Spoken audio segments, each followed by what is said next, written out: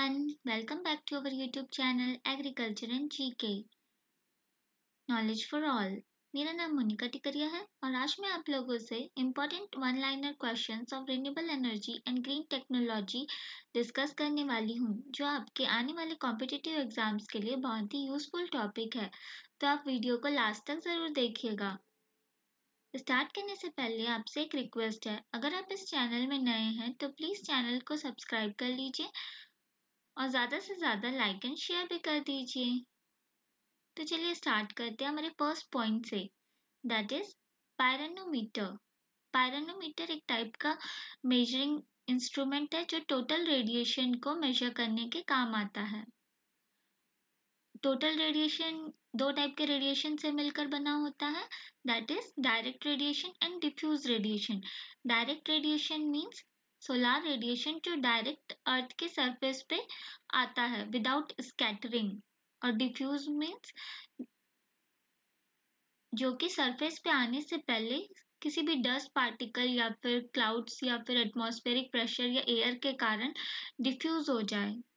अगर वो रेडिएशन अर्थ में पहुँचने से पहले वो किसी भी रीजंस के कारण स्कैटर हो जाए that is called as diffuse radiation तो उसको टोटल रेडिएशन को मेजर करने के लिए पायरोनोमीटर डिवाइस का हम यूज़ करते हैं। Next is pyrheliometer it is a, it is a device used to measure direct beam radiation. ये direct radiation को measure करने के लिए काम आता है फिर heliometer next point is what is solar constant solar constant क्या है?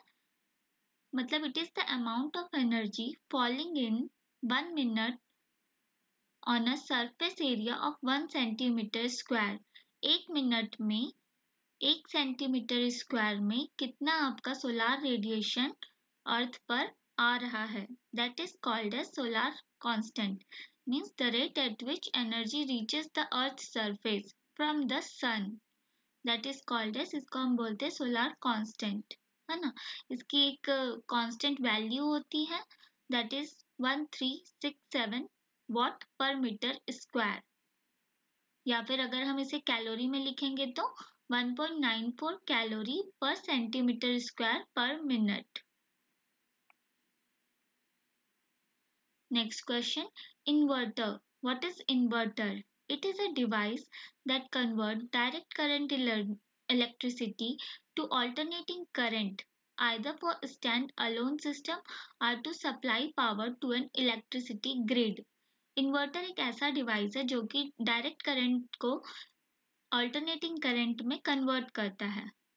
That instrument is called as inverter next question photon what is photon photon क्या होता है?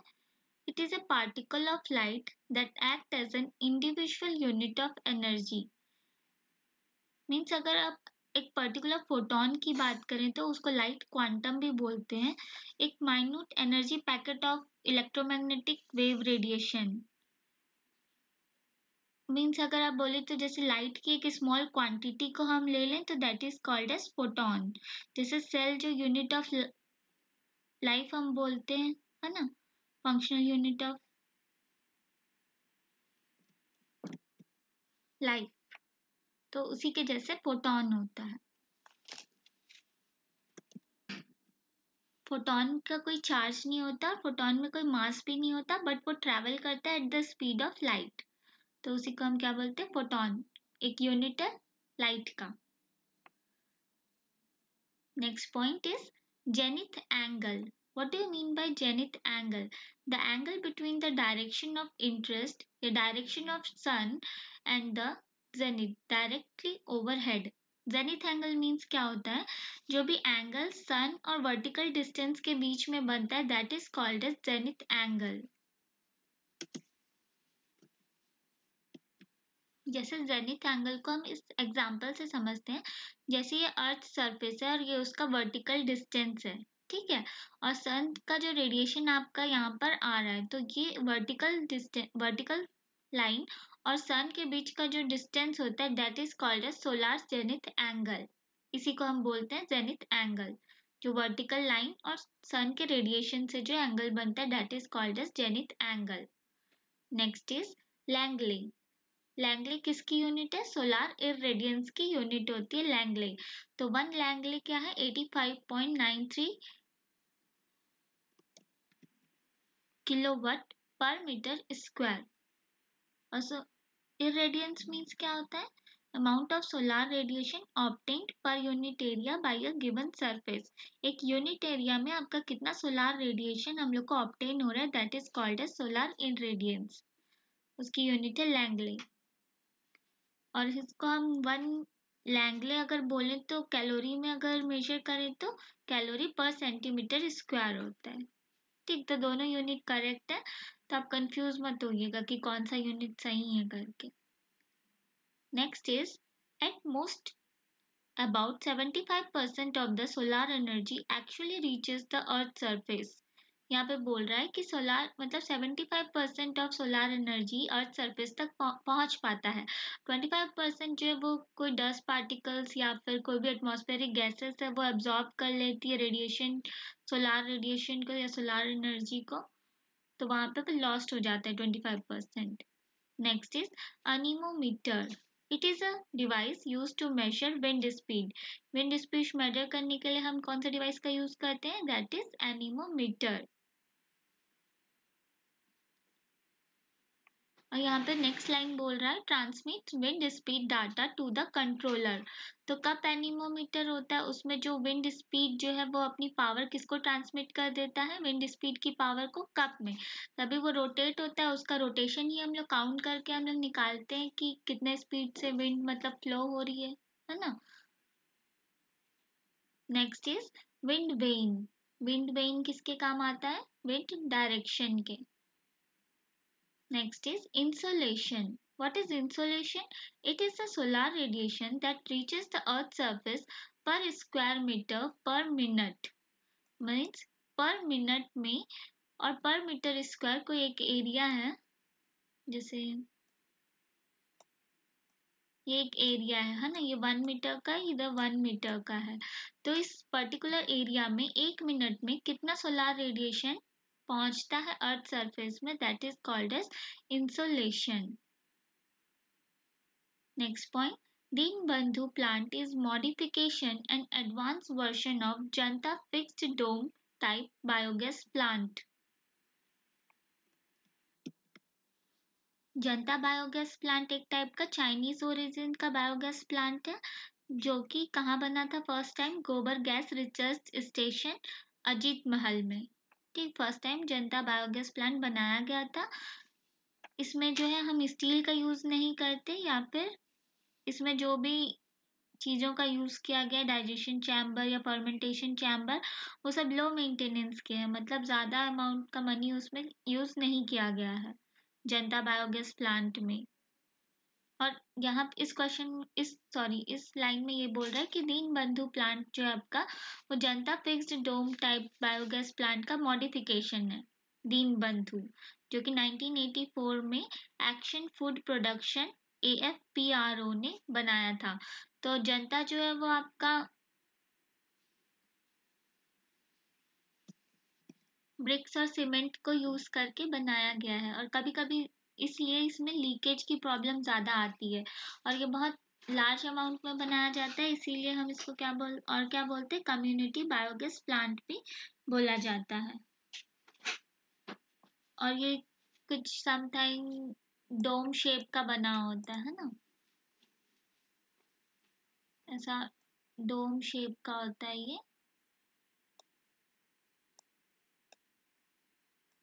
यहाँ से इनलेट चैम्बर होता है। यहाँ पर आउटलेट चैम्बर होता है, जहाँ पे स्लरी हमको मिलती है।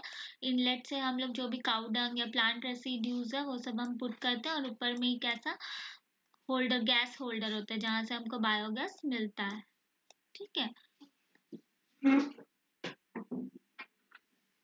Next point is Janata biogas plant is semi continuous flow type plant होता है। सेमी कंटिन्यूस मीन्स जो भी प्लांट रेसिड्यूज या काउडंग आप यूज़ कर रहे हैं, उसको बार बार आपको फील करने की ज़रूरत नहीं पड़ती है। एक फिक्स टाइम रख लीजिए मतलब वन मंथ में आपको एक बार डालना है इस टाइप से तो ये सेमी कंटिन्यूस फ्लो टाइप का बायोगैस प्लांट है जनता। और वैसे ही एक कंटिन्यूस टाइप का भी होता है जिसमें कंटिन्यू आपको प्लांट को फ़ीड करना पड़ता है उसमें और कंटिन्यू खाली भी करते जाना पड़ता है साथ साथ में। तो वो जो है जनरली रूरल पीपल या फिर रूरल एरियाज़ में वैसा टाइप का बायोगैस प्लांट बनाया जाता है। Next is carbonization What do you mean by carbonization? It is also known as pyrolysis, which is defined as breakdown of complex substance into simple simpler one by heating in absence of air pyrolysis एक type का treatment है जो हम लोग organic material में करते हैं। इसमें क्या होता है कि डिकम्पोजिशन होता है कार्बन मटेरियल या कार्बन बेस्ड मटेरियल का हाई हीट में without the presence of oxygen मतलब ऑक्सीजन इसमें एबसेंट होता है। यहाँ लिखा है ना एबसेंटिंग एयर तो that is called as pyrolysis next is sun is the source of all energy sources sun जो है वो अल्टीमेट सोर्स है इन इनएग्जॉस्टिबल सोर्स है एनर्जी का next point is The calorific value of natural gas is 50 kilojoule per kg. Calorific value means amount of energy release when one K G of fuel burn एक के G of fuel को जब हम burn करते हैं तो उससे जितनी अमाउंट की एनर्जी हमको मिलती है that is called as calorific value तो नेचुरल गैस की कितनी होती है? फिफ्टी किलो जूल पर के जी वहीं डीजल की कितनी होती है? Forty two dash forty five point five mega joule per K G petrol का फोर्टी फाइव से forty six mega joule per K G और नेचुरल गैस का fifty kilo joule per K G ठीक है? Next point is the biogas consist of methane and carbon dioxide gases as chief constituent जो biogas हम लोग को मिलता है, उसमें जो सबसे ज़्यादा अमाउंट में कंस्टिट्यूएंट प्रेजेंट होता है दैट इज़ मिथेन जो 50 से 60 परसेंट के बीच में होती है इसकी range and second is CO2 जो 30 टू 40 परसेंट के बीच इसका रेंज होता है। तो ये दो मेन गैसेस हम लोग को बायोगैस में मिलती है।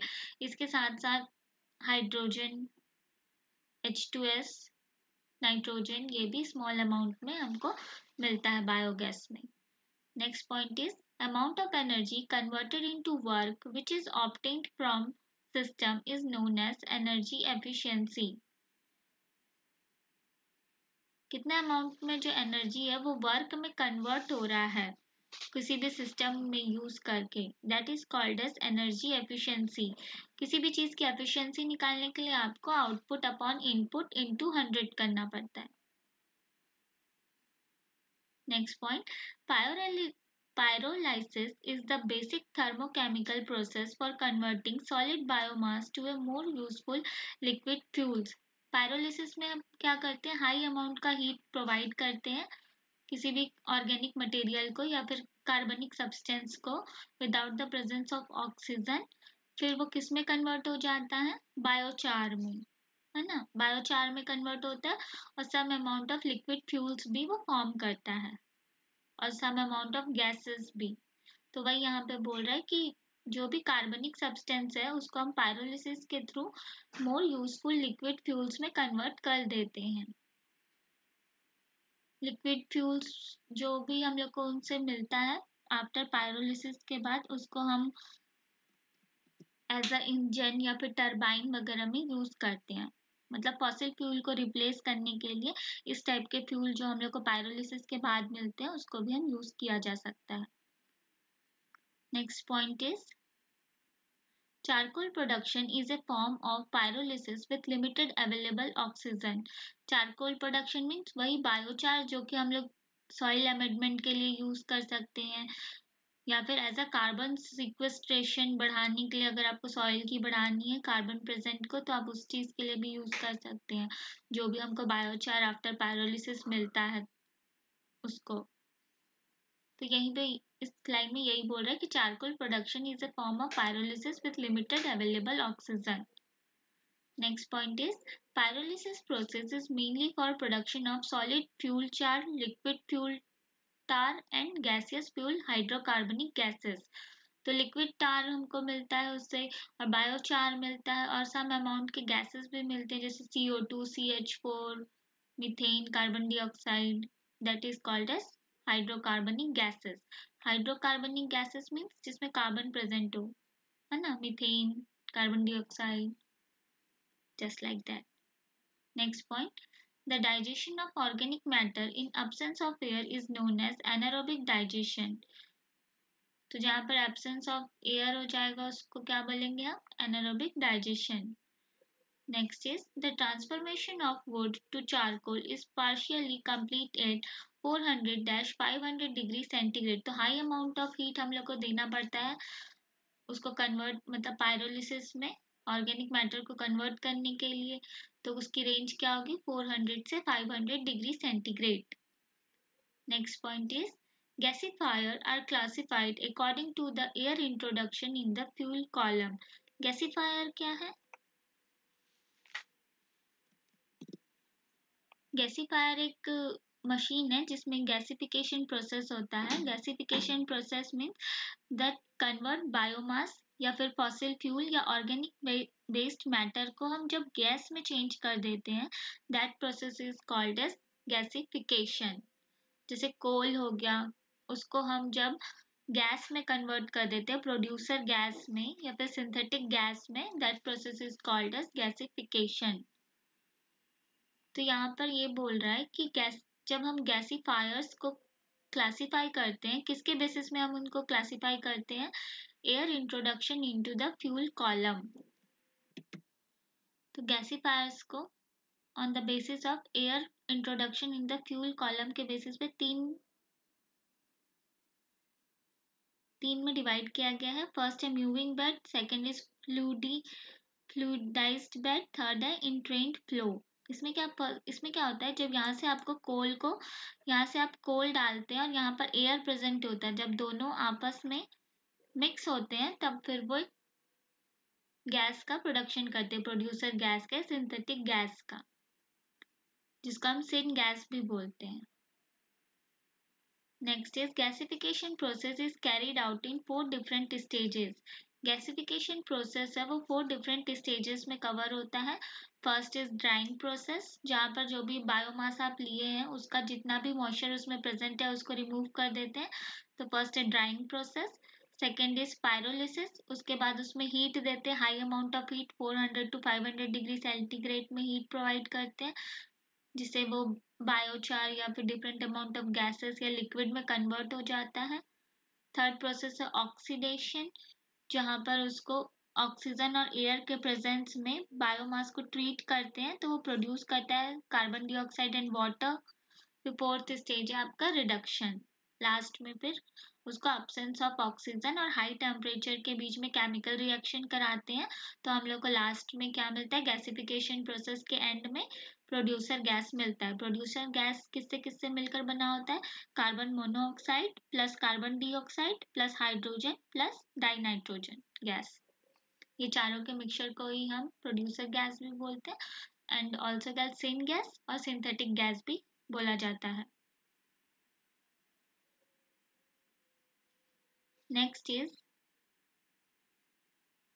gasifier convert solid fuel into the gaseous fuel तो गैसीफायर प्रोसेस में हम लोग सॉलिड फ्यूल मतलब जो भी कोल है है ना? उसको हम किसमें चेंज कर देते हैं? गैसियस फ्यूल में। Methane carbon dioxide carbon monoxide इसमें हाइड्रोजन नाइट्रोजन इसमें चेंज कर देते हैं। तो गैसी गैसीफायर का यही काम होता है। Next is combustible mixture of producer gas is producer gas में जो कंबस्टाइल मिक्सचर है, जिसके कारण से मतलब वो जलता है तो वो किसका, किसके कारण से होता है? हाइड्रोजन और कार्बन डाइऑक्साइड के कारण ही प्रोड्यूसर गैस जो है कंबस्टाइल नेचर का होता है। Air ratio required for gasification is 2.38 kg wood per kg air. तो इतना 2.38 kg अमाउंट का आपका बायोमास होगा तो आपको एक के जी एयर लगेगा। अगर आपको गैसिफिकेशन का प्रोसेस करवाना है तो एयर और बायोमास का रेशियो है ये। Next point is, principal production in reduction zone is.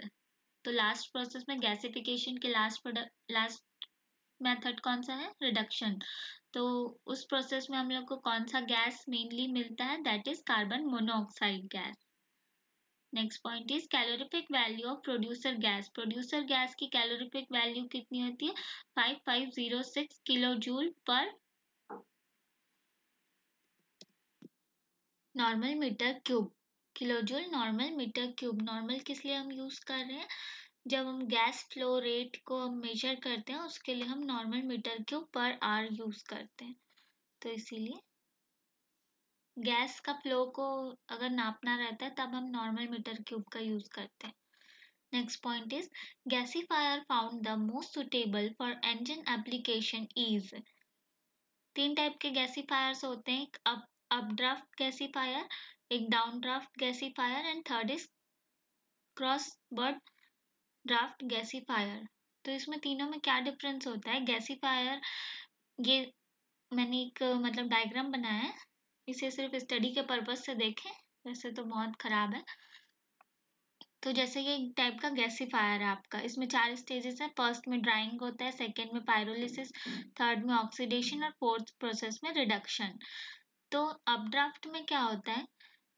जो कोल आप डाल रहे हैं यहाँ से ऊपर से या जो भी बायोमास आप ऊपर से अप्लाई कर रहे हैं, उसका डायरेक्शन जो है और एयर का डायरेक्शन दोनों अपोजिट होता है मतलब कोल का डायरेक्शन क्या डाउनवर्ड में फ्लो हो रहा है और एयर आप नीचे से प्रोवाइड करते हैं तो ये अपवर्ड होता है है ना? एयर का फ्लो जो होता है वो अपवर्ड डायरेक्शन में होता है तो इसी को हम क्या बोलते हैं? Upward, updraft, gasifier. और डाउन ड्राफ्ट में क्या होता है, जब आप बायोमास ऊपर से डाल रहे हैं और जब एयर का फ्लो आप इस वाले पोर्शन से, ऑक्सीडेशन चैम्बर से आप फ्लो करा रहे हैं मतलब कोल का डायरेक्शन और एयर का डायरेक्शन दोनों ही डाउनवर्ड है, तब आप इसको हम बोलते हैं डाउन ड्राफ्ट गैसीफायर तो जनरली जो भी इंजन एप्लीकेशन में गैसीफायर का हम यूज़ करते हैं, उसमें डाउन ड्राफ्ट जो है बहुत बहुत कॉमन है रेदर देन अप ड्राफ्ट से। और को ड्राफ्ट में क्या होता है, दोनों मतलब कोल और एयर का डायरेक्शन सेम होता है। मतलब ऊपर से नीचे होगा तो एयर का भी डायरेक्शन क्या होगा, ऊपर से नीचे ही होगा। तो ये डिफरेंस है तीनों गैसीफायर में। Next point is density of briquettes normally varies between 1200 to 1400 kg per meter cube for high pressure process. Briquetting का एक ऐसा प्रोसेस है जिसमें it is a technology method for compressing and densifying the bulky raw material उसका reduce briquetting process में क्या होता है? जब आप कोई भी बायोमास ले लेते हैं बायोमास मतलब जैसे कि वुड ले लिए बार्क ले लिए या लीव्स ले लिए या काउडंग ले लिए, उसको मिक्स करके मतलब डेंसीफाई करके मतलब जैसे हम गाँव में यूज़ करते हैं ना, गोबर को यूज़ करते हैं हम, उसके बाद उससे हीट प्रोड्यूस करके आग जलाते हैं, है ना? तो वैसा ही प्रोसेस सेम को हम क्या बोलते हैं? ब्रिकेटिंग प्रोसेस बोलते हैं। मतलब बल्कि रॉ मटेरियल को जब हम वॉल्यूम वेट रेशियो से अगर कम कर देते हैं, है ना? मतलब डेंसिफाई कर देते हैं और फिर उसको वेरियस जो भी आप पर्पस में यूज़ करना है, जैसे आग जलाना है या फिर कहीं कुछ और काम करना है, उसके पर्पस में यूज़ करते हैं that is that process is called as briquetting तो उसके लिए जो डेंसिटी ब्रिकेट्स की डेंसिटी जो होती है वो कौन से रेंज को फॉलो करती है? 1200 to 1400 KG per metre cube अगर हाई प्रेशर प्रोसेस में उसे यूज़ करना है तो उसकी डेंसिटी इतनी होनी चाहिए। Next is in the densification, volumetric efficiency can be increased. जब आप डेंसिफिकेशन प्रोसेस करते हैं या ब्रिकेटिंग का ये प्रोसेस करते हैं तो उसमें आपकी वॉल्यूमेट्रिक एफिशिएंसी जो है वो बढ़ जाती है। Next is, the pH range suitable for biogas production is? तो उसका रेंज क्या है? 6.6 टू 7.5 है ना? इस रेंज में होना चाहिए आपका पीएच अगर आपको बायोगैस प्रोडक्शन करना है तो। इस इस वाले जो मतलब पीएच में जो होता है ना, वो अगर जो भी आपके बैक्टीरिया हैं, वो अच्छे से इसमें फर्मेंटेशन कर पाते हैं। अगर ये पीएच मेंटेन करके रखेंगे तो। अगर 8.5 से अगर पीएच ज़्यादा कर देते हैं तो उसमें जो भी आपके एनारोबिक बैक्टीरिया है, वो सरवाइव नहीं कर पाते उस रेंज में। इसलिए इस रेंज में पीएच मेंटेन करके रखना चाहिए डाइजेशन चैम्बर में। Next is in the case of cattle dung the C N ratio is usually around तो कैटल डंग का सी एन रेशियो कितना होना चाहिए? बायोगैस प्रोडक्शन के लिए 25 race to 1 is the optimum ratio next point is H R T is the number of days the feed material is required to remain in the digester to begin gas production. HRT क्या है? Hydraulic retention time है ना? मतलब कितने time के लिए feed को हमको स्टोर करके रखना पड़ता है डाइजेस्टर में? तब उसका गैस प्रोडक्शन स्टार्ट होता है। उस नंबर ऑफ़ डेज़ को हमको क्या हम क्या बोलते हैं? Hydraulic retention time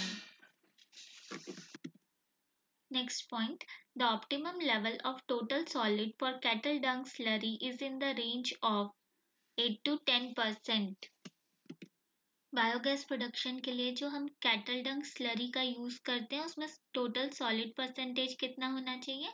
That is 8 to 10 percent point Janata and Deenbandhu models are fixed dome type biogas plant Janata और बंधु कैसे हैं? Fixed dome type biogas plant होता है। उसमें ऐसा एक डोम शेप का बना होता है और ये अंडरग्राउंड होता है मतलब ग्राउंड से इनसाइड सरफेस में, है ना? और वहीं अगर आपका जो के कौन से टाइप का है? Floating type of floating model है वो। Next point the gas is available at a constant pressure in KVIC type biogas plant. KVIC में जो हम एक गैस का प्रेशर जो होता है, वो कांस्टेंट होता है। कांस्टेंट प्रेशर में गैस हम लोग को मिलती है KVIC टाइप बायोगैस यूनिट में। Next point calorific value of methane biogas is biogas से जो हमको मीथेन प्रोड्यूस होता है, उसका कैलोरिफिक वैल्यू कितनी होती है? 4713 kilo calorie per metre cube constant gas pressure available in floating drum type biogas plant.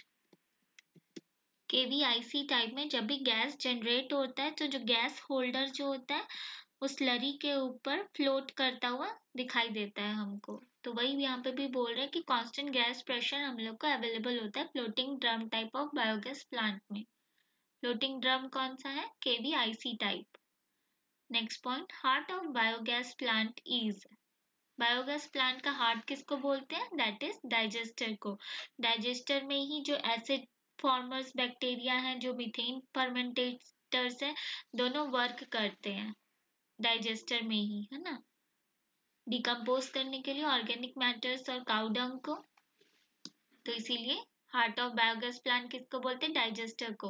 Constituent of biogas is main constituent biogas plant का क्या C H four methane and carbon dioxide methane is fifty five to sixty percent and carbon dioxide to forty to fifty percent The gas available at the pressure of about 10 centimeter of water column in KVIC model.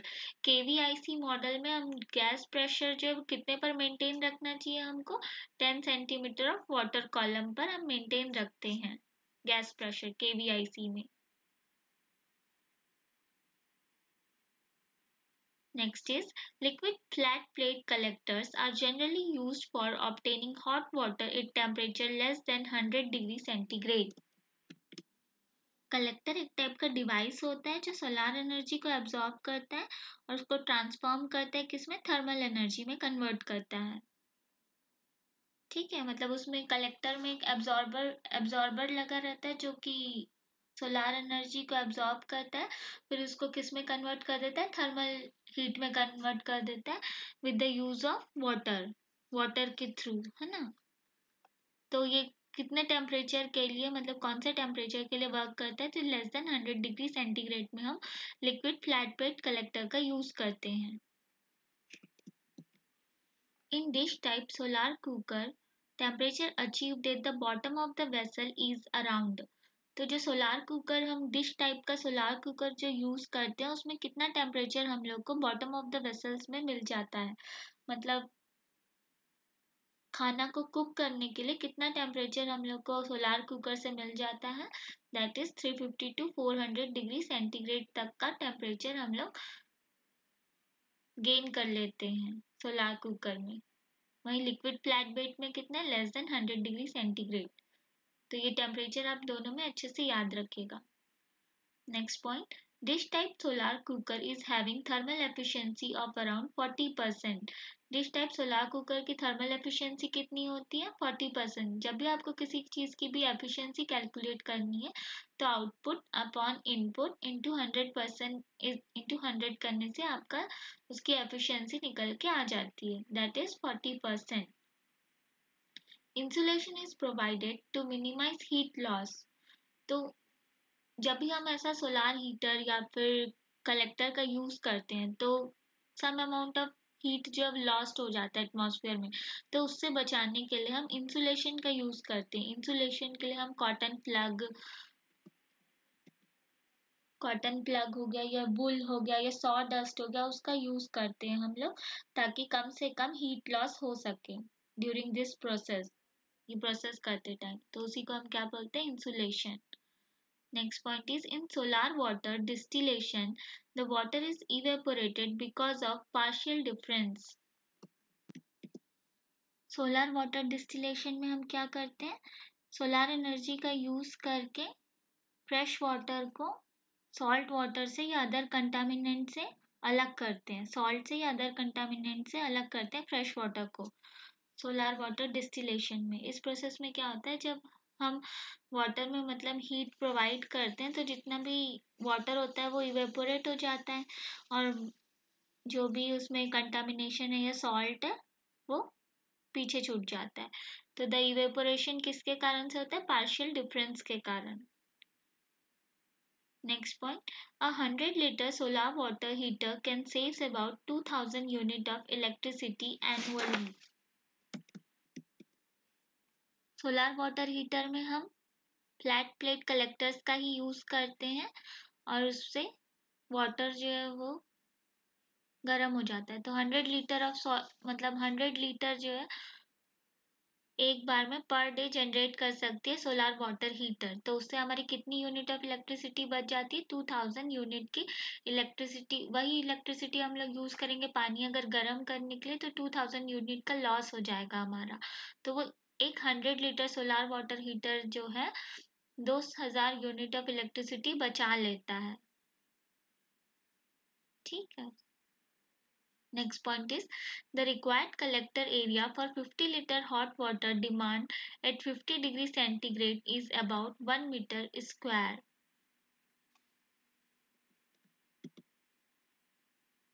इस line में बोल रहा है कि अगर आपको 50 litre hot water generate करना है 50 डिग्री सेंटीग्रेड अगर आपका एवरेज टेम्परेचर है रोज का मतलब समर सीज़न का तो आपको लोग कितनी मतलब कलेक्टर एरिया की ज़रूरत पड़ेगी? कितना फ्लैट प्लेट कलेक्टर आपका एरिया कितना होना चाहिए? तो वो कितना होना चाहिए? वन मीटर स्क्वायर आपको एरिया होना चाहिए। अगर आपको 50 litre hot water per day collect करना है 50 डिग्री सेंटीग्रेड टेम्परेचर में। The capacity of solar water heating system can be boosted by increasing collector area.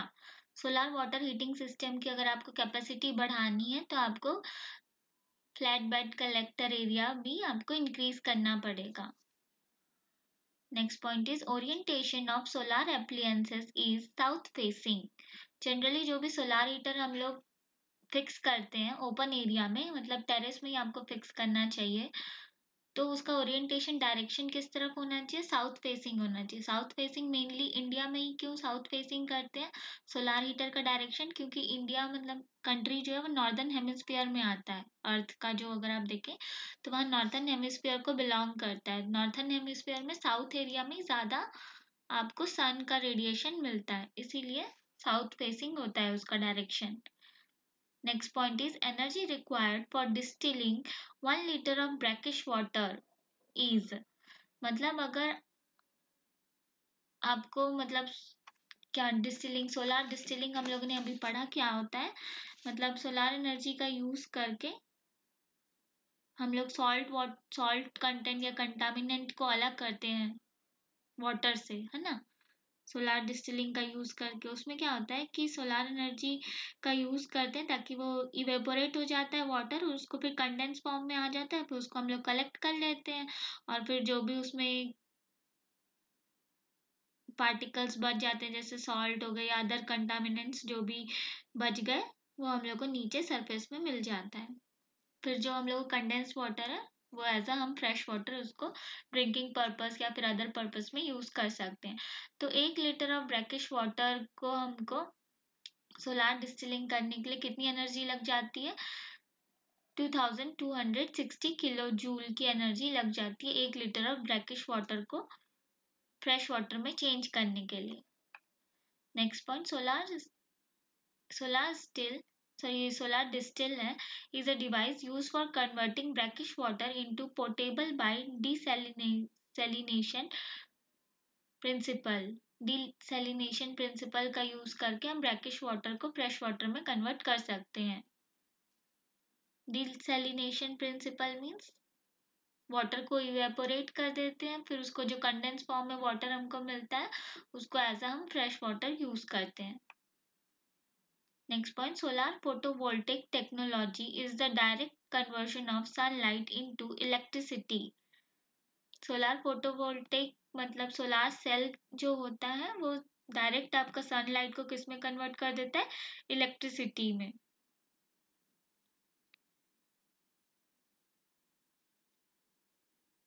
Next point, solar cells are semiconductor device that convert sunlight to direct current electricity. Solar cells ऐसा क्यों कर पाता है मतलब sunlight को वो electricity में कैसे convert कर लेता है with the help of semiconductor. Semiconductor एक material है जो conductor और insulator दोनों की property show करता है और ये मतलब अपने अंदर से करंट को फ्लो होने देता है सेमीकंडक्टर पीवी सेल्स क्या करते हैं? फोटोवोल्टिक सेल्स जो होते हैं, वो सोलार एनर्जी को trap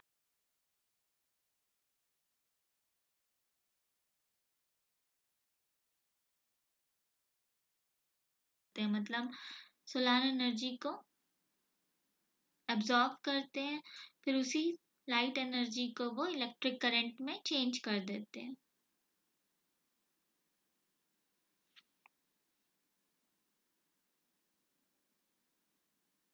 A typical silicon PV cells produce about 0.5 to 0.6 volt DC under open circuit.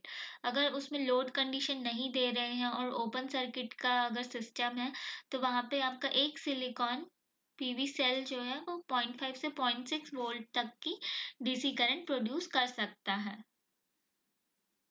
wind is result of uneven heating in the earth planet wind हमारा क्या किससे मिलकर बना होता है? एयर से। एयर क्या एयर जो है वो सम अमाउंट ऑफ़ हीट को एब्जॉर्ब कर लेती है। उसी के कारण तो कुछ प्लेसेस जो होते हैं वार्म होते हैं और कुछ प्लेसेस क्या होते हैं? कोल्ड होते हैं।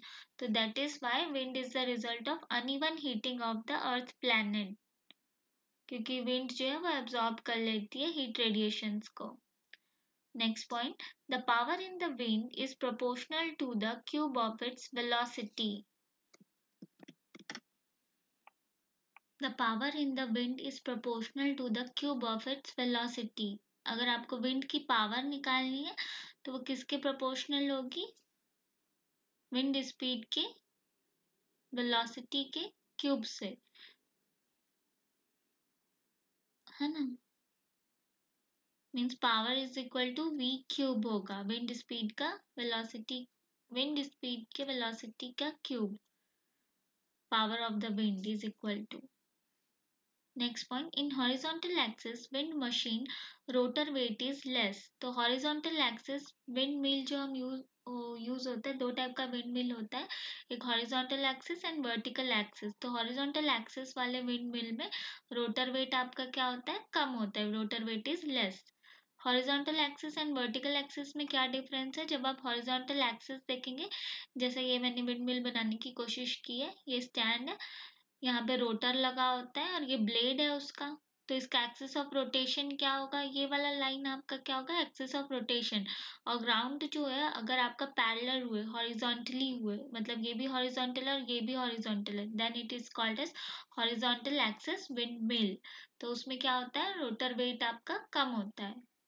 Wind speed 5 to 6 km per hour is suitable to run wind pump. Wind pump को रन करने के लिए आपकी विंड स्पीड कितनी होनी चाहिए? 5 to 6 kilometre per hour next is the average capital cost of wind farm project work out to मतलब अगर आपको एक विंड फार्म बनाना है, विंड मिल का फार्म बनाना है तो उसके लिए कितना आपको लग सकता है? 3.5 टू फोर करोड़ लग सकता है, अगर आप एक विंड फार्म प्रोजेक्ट बनाना चाहते हैं तो उसका एवरेज कैपिटल कॉस्ट है ये।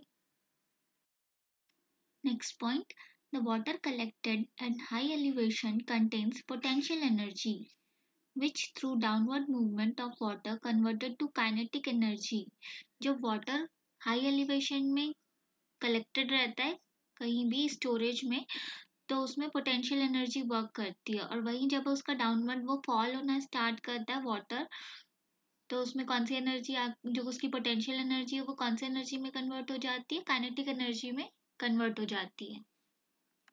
जब वाटर अगर स्टैटिक पोजीशन में हो मतलब कांस्टेंट पोजीशन में हो तो उसमें पोटेंशियल एनर्जी होती है।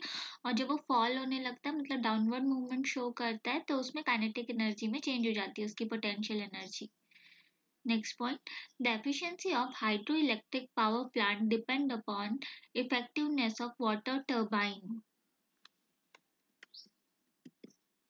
तो hydro electric electric power plant में फ्लोइंग वाटर का यूज़ करके हम टरबाइन को रोटेट करवाते हैं, जिससे कि हमारी इलेक्ट्रिसिटी प्रोड्यूस होती है। है ना? तो इसीलिए इसकी एफिशिएंसी इफेक्टिवनेस किस पे डिपेंड करती है? वाटर टरबाइन पे। Next point the Pelton wheel is used where small flow of water is available Pelton wheel एक टाइप का व्हील है जो टरबाइन में यूज़ होता है।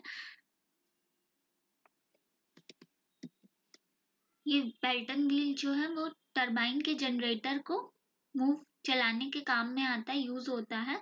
और फिर जब जनरेटर स्टार्ट होता है तो अब वो आपके मैकेनिकल एनर्जी को इलेक्ट्रिकल एनर्जी में कन्वर्ट कर देता है। तो जब हम पेल्टन व्हील का यूज़ हम कहाँ पर करते हैं? जब आपका जो भी फ्लो है वाटर का जो फ्लो हो रहा है, वो स्मॉल हो, है ना?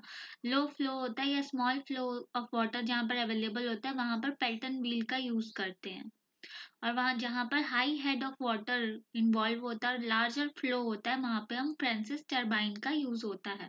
The Francis turbine is use where a large flow and high head of water is involve और पेल्टन व्हील में लो वाटर हेड होता है और स्मॉल फ्लो ऑफ़ वाटर ये दोनों पॉइंट आप याद रखिएगा कि Pelton wheel low water head और स्मॉल फ्लो में यूज़ होता है और वहीं फ्रेंसिस टर्बाइन जो है वो high high head of water और लार्जर फ्लो में यूज़ होता है।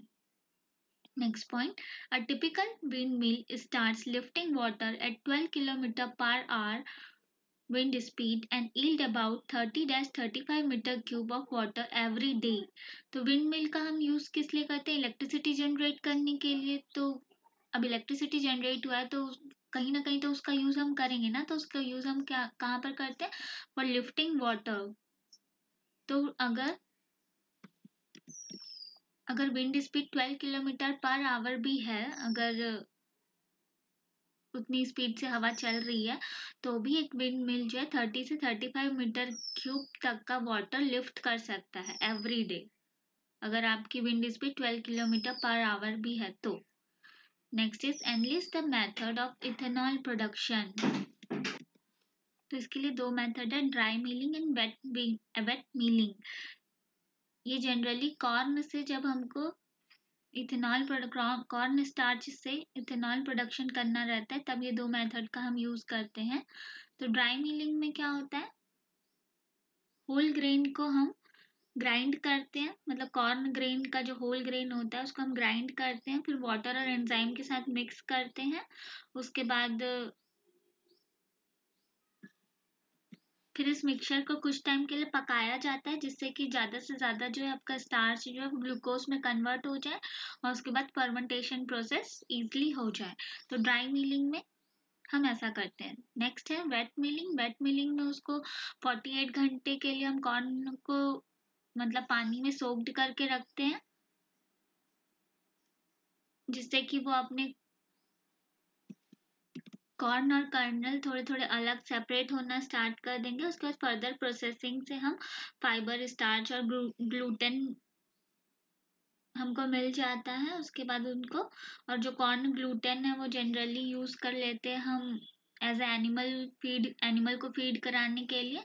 और जो उसमें स्टार्च बचा होता है उसको हम फर्मेंट करके इथेनॉल प्रोड्यूस कर लेते हैं। तो वेट मिलिंग प्रोसेस में उसको सोक्ड करना पड़ता है और ड्राई मिलिंग प्रोसेस में उसको पाउडर की तरह ग्राइंड करना पड़ता है। फिर उसमें एंजाइम और वाटर के साथ उसको पकाते हैं थोड़ी देर के लिए कुक करना पड़ता है।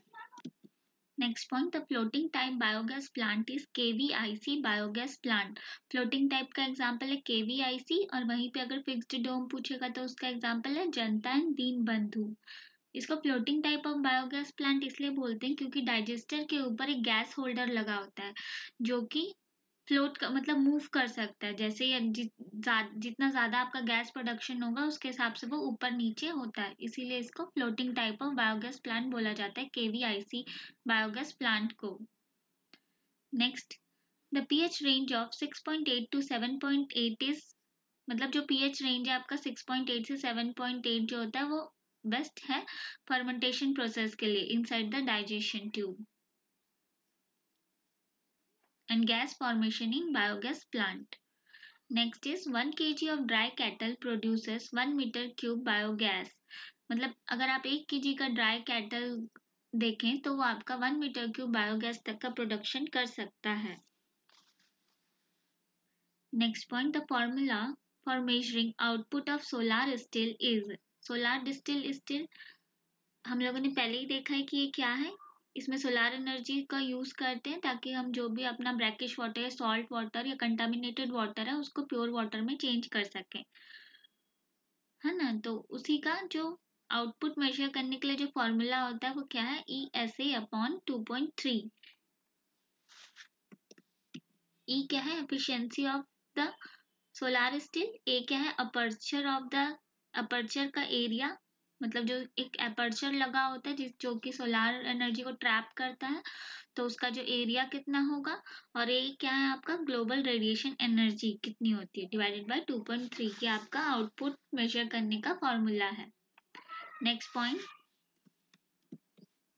enlist the zone of solar pond solar pond में कितने जोन्स होते हैं? उसमें थ्री जोन्स होते हैं. First is upper convecting zone second is non convecting zone third is lower bottom ये कन्वेक्टिंग है not converting it is convecting lower bottom convecting zone upper convecting zone में क्या होता है कि इसमें जो आपका सोलार रेडिएशन आता है तो कुछ अमाउंट में ही एब्जॉर्ब होता है, बाकी को ये ट्रांसमिट कर देता है लोअर लोअर जोन में. तो इस जोन में जो है low amount of solar heat बस ट्रैप हो पाता है। इसीलिए यहाँ पर आपका मिनिमम टेम्परेचर होगा और सॉल्ट कंटेंट भी आपका कम होगा अपर कन्वेक्टिंग जोन में। नॉन कन्वेक्टिंग जोन किस वजह से बनता है? ये सॉल्ट ग्रेडियंट की वजह से बनता है। यहाँ पर सॉल्ट का कंसंट्रेशन जैसे जैसे आप डेप्थ में नीचे जाते जाओगे, वैसा वैसा बढ़ते जाएगा। लोअर बॉटम कन्वेक्टिंग जोन सबसे हॉटर हॉटेस्ट जोन है ये 70 टू 85 डिग्री सेंटीग्रेड यहाँ का टेम्परेचर होता है। इसको स्टोरेज जोन भी बोलते हैं क्योंकि यहाँ पर सबसे ज़्यादा अमाउंट में सोलार एनर्जी ट्रैप्ड होती है। तो यहाँ पर मैक्सिमम टेम्परेचर और सॉल्ट कंसंट्रेशन भी ज़्यादा होगा आपका लोअर बॉटम कन्वेक्टिंग जोन में। Next point is the energy required to evaporation of water is मतलब लेटेंट हीट ऑफ़ वेपराइजेशन क्या होता है? ये फ़िज़िकल प्रॉपर्टी होती है किसी भी सब्सटेंस की या किसी भी वाटर या जिसकी भी आपको लेनी है। तो it is defined as the heat required to change one mole of liquid at its boiling point मतलब जब आपको one mole of liquid latent heat of vaporization क्या होता है? मतलब amount of heat required to change one mole of liquid to its boiling point it standard atmospheric pressure में जब आप एक मोल ऑफ़ लिक्विड को कितना हीट प्रोवाइड करेंगे कि वो अपने बॉइलिंग पॉइंट में पहुँच जाए, उसको हम क्या बोलते हैं? लेटेंट हीट ऑफ़ वेपोराइजेशन इसको किसमें मेजर करते हैं? किलो जूल पर केजी में. उसकी वैल्यू कितनी है?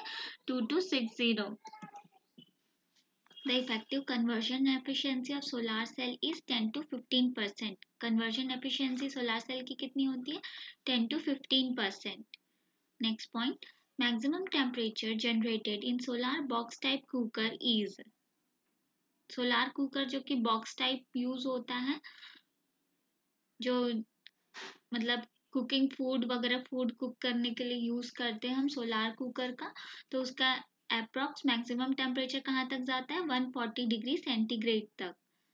Next is single PV cell produces एक सिंगल फोटोवोल्टिक सेल कितना कितना amount of DC current generate कर सकता है?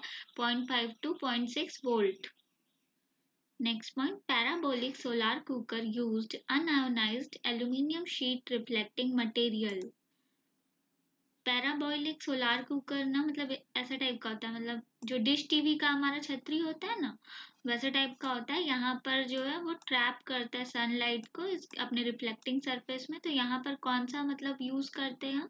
एल्यूमिनियम शीट यूज़ करते हैं एज अ रिफ्लेक्टिंग मटेरियल के तौर पर यूज़ करते हैं पैराबोलिक सोलर कुकर में।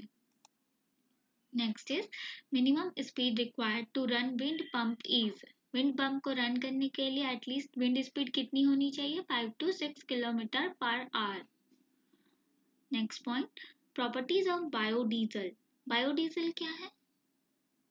मतलब ऐसा डीजल जो हम लोग प्लांट डेरिवेटिव्स को यूज़ करके बनाते हैं। है ना? मतलब लॉन्ग चेन फैटी एसिड और ईस्टर्स वगैरह को कंबाइन केमिकली रिएक्शन करके हम प्लांट या एनिमल डेरिवेटिव्स से अगर हम डीजल बना रहे हैं that is called as biodiesel तो उसका अगर उसकी बायोडीजल अब अगर आप बना रहे हैं तो उसमें कौन कौन सी क्वालिफिकेशन होनी चाहिए? तो उसकी स्पेसिफिक ग्रेविटी क्या है? 0.88 विस्कोसिटी 7.5 सेंटर इंडेक्स वैल्यू 49 और नेट हीटिंग वैल्यू आपकी 33,300 केजी पर लीटर होनी चाहिए। बायोडीजल की प्रॉपर्टी है। तो बायोडीजल हम लोग जनरली जट्रोपा से बना सकते हैं करंट से बनाते हैं। अच्छा नेक्स्ट क्वेश्चन ही वही है right any two tree species which are use for biodiesel production तो jatropha and karanj. Next is KVIC full form KVIC type of biogas plant का फुल फॉर्म क्या है? खादियन विलेज इंडस्ट्री कमीशन ये floating type of biogas plant है। Next point OTEC OTEC क्या है? Ocean thermal energy commission Next point, turbines are used to convert wind energy to electrical energy. Turbines wind mill में use होता है जहाँ पर हम विंड की एनर्जी को किसमें कन्वर्ट करते हैं? इलेक्ट्रिकल एनर्जी में। और वहीं टर्बाइंस का यूज़ हाइड्रोथर्मल पावर प्लांट में भी होता है जहाँ हम फ्लो फ्लोइंग वाटर की एनर्जी को कन्वर्ट करते हैं इलेक्ट्रिकल एनर्जी में। तो वहाँ पर भी टर्बाइंस का यूज़ करते हैं। Next point the temperature attend in parabolic solar cooker is तो पैराबोलिक सोलार कुकर में कितने तक की टेम्परेचर हम लोग को मिल जाती है? अप टू 400 डिग्री सेंटीग्रेड तक की टेम्परेचर हम लोग को पैराबोलिक सोलार कुकर में मिल जाती है। वहीं अगर सोलार कुकर बॉक्स टाइप की बात करें तो कितना टेम्परेचर है? 140 डिग्री सेंटीग्रेड तो ऐसे कंपैरिजन करके आप अगर कोई भी चीज़ को पढ़ेंगे तो आपको जल्दी याद होगा। Next point define pyrolysis pyrolysis हम लोगों ने ऑलरेडी डिस्कस कर चुका है। The process of conversion of complex organic polysaccharide substances into simple inorganic monosaccharides in the absence of heat sorry in the absence of oxygen मतलब oxygen अगर नहीं रहेगा और हम किसी भी ऑर्गेनिक पॉलीसेक्राइड को हम सिंपलर इनऑर्गेनिक मोनोसेक्राइड्स में कन्वर्ट कर सकते हैं इस प्रोसेस से। Next is sodium methylate catalyst is use during biodiesel production biodiesel production के लिए एज अ कैटलिस्ट हम किसका यूज़ करते हैं? सोडियम मिथाइलेट का। What type of energy is wind energy wind energy कौन से टाइप की एनर्जी है? Renewable energy Next point, wind energy is harnessed as mechanical energy with the help of windmill or turbine. Windmill wind में जो turbine होता है आपका वो कन्वर्ट करता है काइनेटिक एनर्जी ऑफ़ विंड को मैकेनिकल एनर्जी में जो कि शाफ्ट को मिलती है फिर है ना मतलब इसकी जो विंड मिल की जो विंड टरबाइन की जो काइनेटिक एनर्जी विंड मोशन की जो काइनेटिक एनर्जी होती है, उसको मैकेनिकल एनर्जी में ट्रांसफ़र करते हैं। फिर जो जनरेटर होता है, वो उस मैकेनिकल एनर्जी को इलेक्ट्रिकल एनर्जी में कन्वर्ट करता है। तो विंड एनर्जी हम लोग को कहाँ से मिलती है? With the help of wind mill और टरबाइन की हेल्प से हमको विंड एनर्जी मिलती है। Wind is beneficial source of energy it doesn't cause any pollution Next point black painted panels which are hang hanged at roofs to trap heat and energy from sun or solar heaters.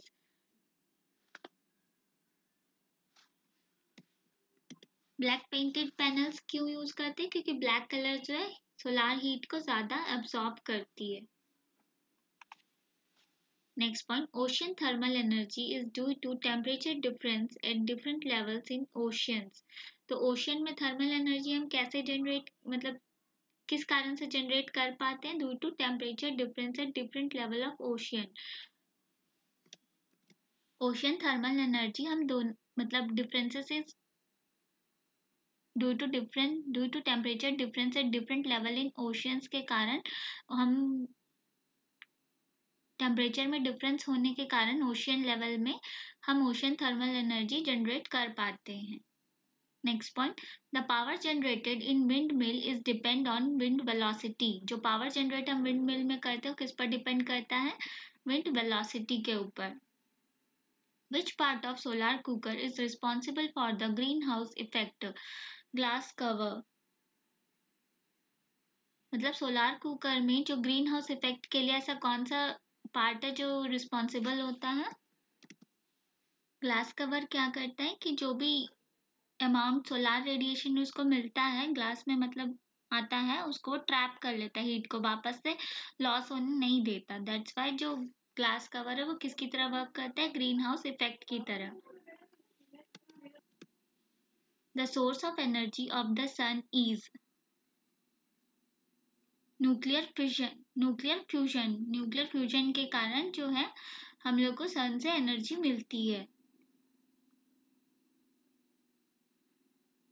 Next point the efficiency of the solar cooker can be increased by placing a plane mirror solar cooker की efficiency बढ़ाने के लिए हम लोग को कौन सा mirror का यूज़ करना चाहिए? That is plane mirror plane mirror क्यों यूज़ करते हैं? क्योंकि ये ज़्यादा से ज़्यादा हम लोग को रिफ्लेक्टिंग सरफेस प्रोवाइड करती है। है ना? और इसमें ज़्यादातर जितनी भी लाइट्स आती है, वो सारी लाइट्स को रिफ्लेक्ट कर देती है, इसलिए प्लेन मिरर बेस्ट है। बट ऐसे तो हमको कॉन्केव मिरर यूज़ करना चाहिए कि क्योंकि कॉन्केव मिरर क्या करती है? जितने भी लाइट इंफिनिटी से या फिर कहीं से भी, किसी भी डिस्टेंस से अगर लाइट हमको आती है तो ये सारी लाइट को किसी एक पर्टिकुलर पॉइंट में फोकस कर देती है कॉन्केव मिरर तो उससे क्या होता है? खाना जो है, जल्दी पक जाता है। तो कॉन्केव मिरर भी बेस्ट होता है, अगर आपको सोलार कुकर में मिरर यूज़ करना है तो। Next point is a solar cell is made up of silicon solar cell जो बना होता है, किसका बना होता है? सिलिकॉन का। Next point a solar cell convert solar energy into electrical energy solar cell का काम क्या होता है? सोलार एनर्जी को हीट एनर्जी को किसमें कन्वर्ट कर देता है? इलेक्ट्रिकल एनर्जी में। Next point, the temperature difference between the upper layer and the deeper layer of the ocean.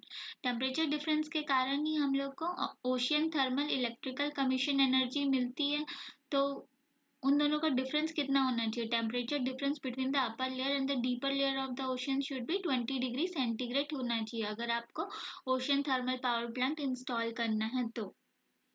Next point is which part of the flat plate collector is coated in black flat plate collector में कौन से part को black colour का paint करके रखते हैं? Absorber plate को, ताकि ब्लैक बॉडी क्या होती है? ज़्यादा से ज़्यादा हीट को एब्जॉर्ब कर लेती है, इसीलिए उसको ब्लैक कलर का कोट कर देते हैं। Next is the function of the solar collector is to convert solar energy to thermal energy. A flatbed collector या फिर जो भी कलेक्टर हम लोग यूज़ करते हैं वो किस लिए कर, मतलब क्या काम करता है उसका मेन मेजर फ़ंक्शन क्या है? वो सोलार एनर्जी को ट्रैप करके फिर उसको थर्मल एनर्जी में भेज देता है। कलेक्टर में हम लोग हॉट वाटर का यूज़ करते हैं मतलब हीट को ट्रैप करते हैं कलेक्टर्स फिर उसके बाद उस हीट को वो वाटर में ट्रांसफ़र कर देते हैं उस वाटर को हम और आगे डोमेस्टिक पर्पज के लिए यूज़ करते हैं। Next point is reflecting mirror used for exploiting solar energy are called are called as heliostats. Next point is reflecting mirror used for exploiting solar energy are called as heliostats. Heliostats means ये simply एक mirror होता है reflecting mirror आप बोल सकते हैं जो कि क्या करता है जितना भी सनलाइट आता है इसके ऊपर मतलब सारे लाइट सनलाइट को कॉन्सेंट्रेट करता है एक सिंगल टारगेट के ऊपर, ताकि ज़्यादा से ज़्यादा जो भी हमारा हीट एनर्जी है, वो सिंगल टारगेट के ऊपर ही हमको मिले करके इस टाइप का रिफ्लेक्टिंग मिरर हम यूज़ करते हैं। ये एक टाइप का रोटेटिंग रिफ्लेक्टिंग मिरर है। Next is the output of solar cell is in the order of one watt solar cell कितने तक की एनर्जी हम लोग को प्रोवाइड करवाता है? One watt next point is flat plate collector absorbs direct and diffuse both radiation मतलब flat plate collector जो होता है, वो दोनों टाइप के डायरेक्ट मतलब बीम रेडिएशन और डिफ्यूज दोनों ही रेडिएशन को वो एब्जॉर्ब करता है। मतलब टोटल इनकमिंग रेडिएशन को एब्जॉर्ब करता है flat plate collector next point temperature attained by a flat plate collector is in order of about 90 degree centigrade तो टेम्परेचर कितना तक के फ्लैट प्लेट कलेक्टर जो है, वो टेम्परेचर गेन कर पाता है? सोलार रेडिएशन से तो 90 degree centigrade, less than 100 degree centigrade होता है तो अगर आपको अप्रोक्स 90 95 के आसपास दिया रहेगा तो वो भी करेक्ट है। Next point the voltage of a single solar cell is एक सिंगल सोलार सेल की वोल्टेज कितनी होती है? 0.5 volt the value of solar constant is solar constant हम लोग ऑलरेडी डिस्कस कर चुके हैं मतलब कि एक मिनट में एक सेंटीमीटर स्क्वायर सरफेस एरिया में कितनी एनर्जी आ रही है। है ना? That is called as solar constant उसी को हम सोलार कांस्टेंट बोलते हैं। उसकी वैल्यू कितनी है?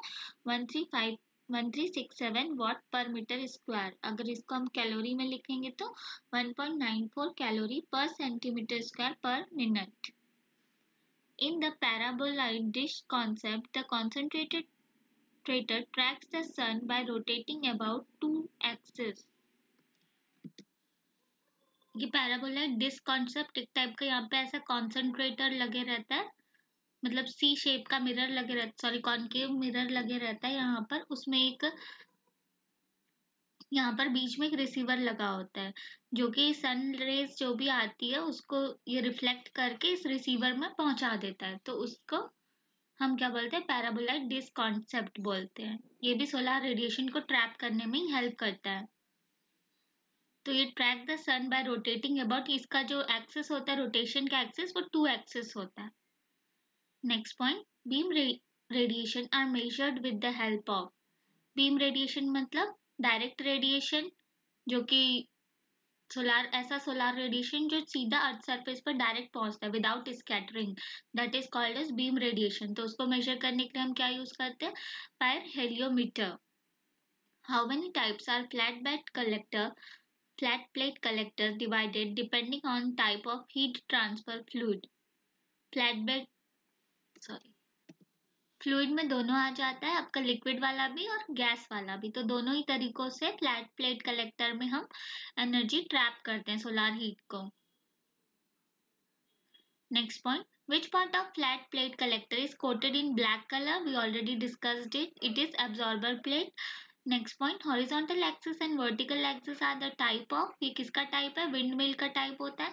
हॉरिजॉन्टल एक्सिस में एक्सिस ऑफ़ रोटेशन और ग्राउंड प्लेन जो है, अगर वो पैरेलल होंगे that is called an horizontal axis और vertical axis means axis of rotation और आपका जो ग्राउंड सरफेस है, अगर परपेंडिकुलर डायरेक्शन में होंगे then it is called as vertical axis type of windmill ये विंड मिल का टाइप्स होता है हॉरिजॉन्टल एक्सिस और vertical axis Next point, a fuel cell in order to produce electricity burns hydrogen. Fuel cell क्या होता है? एक type का सेल है जो आपका केमिकल एनर्जी ऑफ़ फ्यूल को कन्वर्ट करता है किसमें? इलेक्ट्रिसिटी में with the help of redox reaction मतलब फ्यूल का और ऑक्सीडाइजिंग एजेंट का रिएक्शन होता है जिसके कारण से इलेक्ट्रिसिटी जनरेट होती है। इसको रिचार्ज करने की ज़रूरत नहीं पड़ती। जब तक आपका फ्यूल रहेगा तब तक आपका बैटरी चलेगी। तो उसमें, उस प्रोसेस में फ्यूल सेल में हम किसका यूज़ करते हैं? एज अ फ्यूल हाइड्रोजन का यूज़ करते हैं। Fuel cells are fuel cells कौन सी बैटरी मतलब किसको फ्यूल सेल्स को और भी क्या बोलते हैं? हाइड्रोजन बैटरी भी बोला जाता है। Next point lignite bituminous and anthracite are different rank of coal ये कोल का डिफरेंट रैंक ऑफ़ कोल है। मतलब रैंक मतलब किस बेसिस में डिवाइड किया गया है इसको? Amount of carbon present in this coal मतलब अमाउंट ऑफ़ कार्बन के बेसिस में इसको डिफरेंट रैंक प्रोवाइड किया गया है लिग्नाइट बिट्यूमिनस एंड एंथ्रासाइट को। ये कोल का एक टाइप है। व्हाट आर फोटोवोल्टेइक फोटोवोल्टेइक एक टाइप का सेमीकंडक्टर है, जो कि सोलार पैनल्स वगैरह में यूज़ होता है which convert solar radiation directly into electricity में कन्वर्ट करता है सोलार रेडिएशन को। Next point the region where the electron and holes diffused across the junction is called depletion layer semiconductor में एक पी टाइप होता है और एक एन टाइप होता है और एक बीच में एक लेयर बनती है डिप्लीशन लेयर बोलते हैं, जहाँ पर होल्स और इलेक्ट्रॉन्स दोनों ही डिफ्यूज होते हैं उस लेयर में, जिसके कारण से चार्ज प्रोड्यूस होता है सेमीकंडक्टर में। तो उसी रीजन को हम क्या बोलते हैं? Depletion region next point theoretical maximum efficiency of wind power is अगर थ्योरेटिकल देखा जाए तो मैक्सिमम एफिशिएंसी कितनी होती है विंड पावर की? 59 परसेंट होप आप सभी को वीडियो अच्छा लगा हो तो प्लीज़ इसे ज़्यादा से ज़्यादा लाइक एंड शेयर कर दीजिए। Stay healthy and safe